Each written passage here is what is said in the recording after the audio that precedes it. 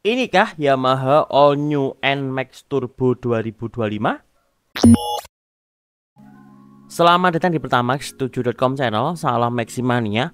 Intinya Pertamax7.com tidak tahu menau terkait Yamaha All New NMAX 2025 Tapi ada yang komentar sebagai berikut. NMAX 160 le 12 Juli 2024 Jadi Om Huda ini memberikan bocoran kalau ada All New Yamaha NMAX 160 launchingnya besok ya 12 Juli 2024 Benar atau tidak saya kurang tahu menau Karena saya memang minim info. Tapi barusan dapat foto spysuit di luar negeri ya Yang disebut-sebut sebagai Yamaha All New NMAX Turbo 160 versi 2025 Seperti ini Fotonya emang dikit dan tak lihat-lihat ini headlampnya mirip dengan X-Max sebelumnya ya nanti ada fotonya lah untuk gambaran nih. Kelihatan ya kayak X-Max gitu. Seperti. Tapi foto yang selanjutnya ini lebih bikin kaget. Jadi ini kemungkinan besar di Eropa atau di luar negeri lah lihat dari plat nomornya. Dan ini disebut-sebut sebagai Yamaha All New NMAX 2025 entah katanya hybrid kek entah katanya turbo terus katanya mesinnya menjadi 160 cc atau naik ya 5 cc lah daripada NMAX yang saat ini. Yang jelas ini kelihatan banget lampu belakangnya sudah baru. Semacam dikasih cover gini dan bukan lagi model baskom sebutannya. Dan untuk suspensi ini belum tabung ya karena ini versi luar negeri atau versi Eropa. Mungkin ini adalah all new NMAX 125 yang mana kalau di Indonesia mungkin menjadi All New NMAX 155 atau All New NMAX 160 sekalian. Tapi pada dasarnya tak lihat-lihat ini masih NMAX pade. Masih NMAX yang kita kenal secara garis body, tapi lampu rem berubah, body juga lebih kayak tipis gitu. Kayak lebih runcing ya, lebih sporty, menipis lah.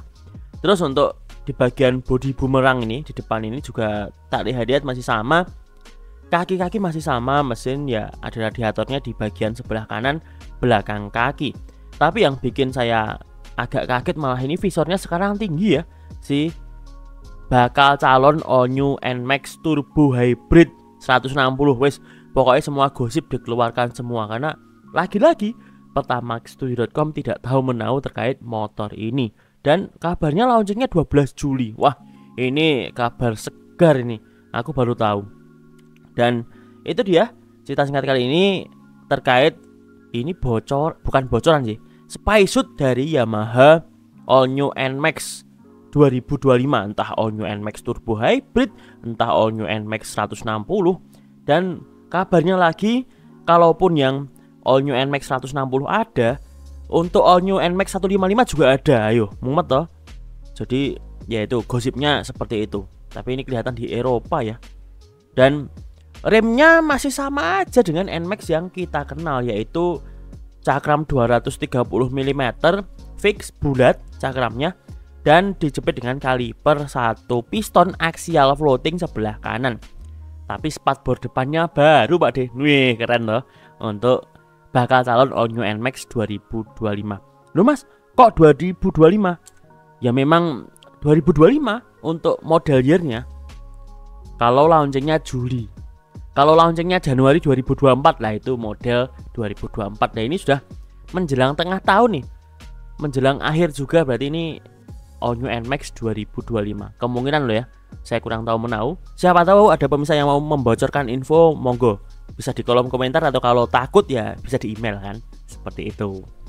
Dan seperti biasa, pertama tidak tahu apa-apa terkait motor baru, juga tidak ada info. Jadi ya ini cuma iseng atau asal aja ya tebak-tebak sok tahu seperti itu. Dan semoga bermanfaat. Sampai jumpa di video selanjutnya. Salam Maximania.